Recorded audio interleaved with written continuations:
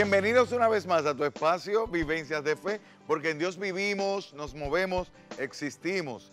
Dios te mantiene de pie, Dios te soporta, te soporta pero no de que tú le peses, sino de que te sostiene. Dios es roca firme, es un amor inmutable, un amor incondicional. Estamos en esta entrega una vez más contentos, sabiendo de que tu corazón, al terminar de escuchar estos testimonios, estos mensajes, va a saltar de alegría, de esperanza, porque Dios es bueno. Como decía por ahí una santa de la iglesia, solo Dios basta. Nada te turbe, nada te espante. Dios nunca se muda, solo Dios basta. Dios siempre tiene tu canal en sintonía, tu vida, tu corazón, tus cosas, tus alegrías, tus penas. No importa lo que estés viviendo, Dios te ama. Y eso es lo que queremos en este programa, que tú salgas convencido y si estás muy dudoso, empieces a dudar de tu duda, porque Dios es amor y está contigo. Como no ha podido dejar de creerlo, de admirarse esta invitada que viene hoy a decirte que Dios ha llenado su corazón, le ha dado color, le ha dado diseños, le ha dado belleza, porque el amor de Dios ha embellecido su corazón. Y esta mujer viene hoy a decirte que si Dios lo ha hecho en ella, también lo quiere hacer en ti. Veamos lo que tenemos para ti hoy en Vivencias de Fe. Patricia Jane Ureña es una mujer joven que está feliz porque ha descubierto que hay un Dios que la ama de manera personal, de que su vida no es un azar, sino que su vida tiene, es parte de un proyecto de Dios, de un Dios que la pensó, se recreó y que la conocía desde que estaba en el vientre de su madre nace en una familia y crece con algunas carencias afectivas porque estaba su madre presente, pero le faltaba el amor de un padre que no estaba a su lado. Pero Dios Padre la encontró, Dios Padre la amó, la abrazó y le dijo, mi hija, tú eres mía y yo te quiero. Y ha podido conocer el amor de Dios en su juventud para cantarle y para servirle. Y hoy está entregada, sirviéndole a Dios con todo lo que ella tiene, con todo lo que es desde ir a visitar a los encarcelados hasta orar por los enfermos o a embellecer la vida de aquellos proclamando que Jesús vive. Porque si el Evangelio y la buena noticia le fue sembrada en su corazón, ella quiere compartir esos frutos de su conversión y de su alegría, de su ilusión, como una adulta soltera y llena de esperanza para la gloria de Dios. Aquí, Patricia Jane Ureña, en Vivencias de Fe. Alegría, alegría, alegría, alegría, alegría. Dios es bueno, Dios es fiel y Dios te ama. Está enamorado de ti, ¿eh? Si tú creías que tú no tenías amor y que a nadie le importabas, te digo con mucha alegría que estás equivocado o equivocada, porque Dios te ama, Dios susurra de amor por ti y en este momento quiere recordarte aquí que tú eres importante, que tú eres, te tiene tatuado en la palma de su mano para que nunca, porque nunca te puede olvidar. Dios es bueno. Como Dios ha sido bueno con esta invitada que me, alegro mucho de tener aquí hoy en Vivencias de Fe, Patricia Jane Ureña. Patricia, bienvenida aquí a Vivencias de Fe, caramba. Gracias por la invitación. Ya era hora, ¿verdad? Ya era hora. Ya, de era, tanto tiempo. ya era tiempo, pero en el tiempo de Dios, Amén. aquí estás, Amén. Patricia. Patricia Jane Ureña, tú eres de nosotros, tú eres hecha en República Dominicana. Hecha en República Dominicana con descendencia de parte de mi padre del Líbano y de parte de mi madre de española y, y italiana. e Oh, pero o sea que ahí ahí. hay un- encuentros multiculturales del Líbano. El Líbano se menciona en la palabra de Dios, ¿eh? Sí. Es, es, eh, eh, el Líbano. El Líbano, Italia, España, eh, República Dominicana, o sea que hay de todo. Hay de todo. Mangú, Mm, pasta. paella. ¿Cuánto? Qué alegría. Cuéntame, Patricia, ¿cómo, cómo creces? ¿Cómo nace? ¿Cómo fue tu vida pequeña? Háblame de, de tu familia. ¿Con qué familia Dios te bordó y te tejió? Bueno, yo nací de Evelyn Ureña y José Jade, eh, aquí en Santo Domingo. eh, éramos católicos, pero tú sabes, católicos como los lights que van de cada año un día a misa y eso. Y, nada, así, mi primer año fue así, nada, mi familia no estaba nada involucrada en las cosas del Señor. eh, mi padre parte a Estados Unidos para, tú sabes, en busca del sueño americano, eh, para tratar de darnos una mejor vida y un mejor futuro a mí y a mi mamá. Eh, la idea era que nosotras fuéramos después. Yo estaba bien pequeñita. Sí, yo tenía menos de un año. Era la- y eres la, la- la mayor de tu... Sí, de padre y madre soy hija única. Y la mayor de... Y la mayor. Y la única hembra. Ok.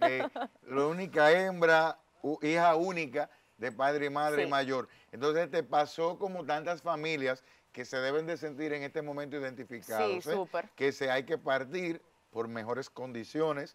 Tu padre entonces va y emigra a, A Nueva Estados- York. a Nueva York y tú te quedas chiquitita aquí. Aquí con mami. ¿Y qué pasó? ¿Lograron irse? No, nunca, ¿O nos, nunca se nunca fueron? nos fuimos. Lamentablemente las cosas a mi papá no se le dieron como él hubiese querido. eh, y nunca nos fuimos. Ya cuando yo tenía más edad, eh, cuatro o cinco años, no me acuerdo bien, eh, mami y papi se divorcian, él estando allá y mami aquí. Y bueno, ya a los nueve años mami se vuelve y se casa. Y ahí es que comienza un poco el caminar de la vida de fe de nosotros, porque con ese matrimonio mami comienza en la parroquia del Buen Pastor, en Nueva Alianza de Amor. No sé si tú, si tú Nueva te acuerdas, de René, Amor, de eso. tanto- tantas bendiciones y frutos Sí. que salieron de ahí. O sea que esa lo, lo dice rápido, pero eh, eh, yo sé que hay muchas mujeres y hombres jóvenes que se identifican Sí, con tu realidad, que buscando mejores condiciones en estos países latinoamericanos, que hay carencias, muchas veces entonces la, la niña no entiende que el papá está buscando dinero. Claro. Entonces tuviste esa soledad, esa niña se crió sin su papi. Exacto. Tú sientes que, que eso te trabajó, te... Sí, bueno, mi mamá me dice que yo siempre fui una niña súper feliz, gracias a Dios.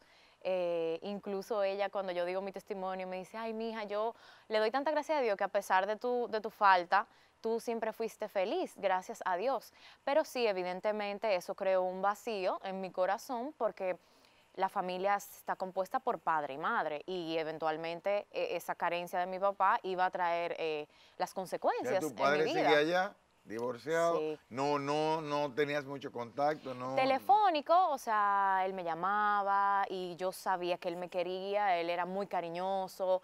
eh, Eso, eso ayudó. Yo Eso sé que ayudó, A claro. Ti, a ti, a ti, a, a- a- a- Televida, Canal 41, lo ven en muchísimas partes, ¿verdad? Y también nos ven por, por, por YouTube, nos ven también de diferentes vías, por las redes. Entonces, papá, mamá, esta realidad tan dominicana que tenemos en diferentes países y continentes, el hijo que está cuidado, que, o el padre que no está, dele su llamadita, ahora es tan fácil, tan barato.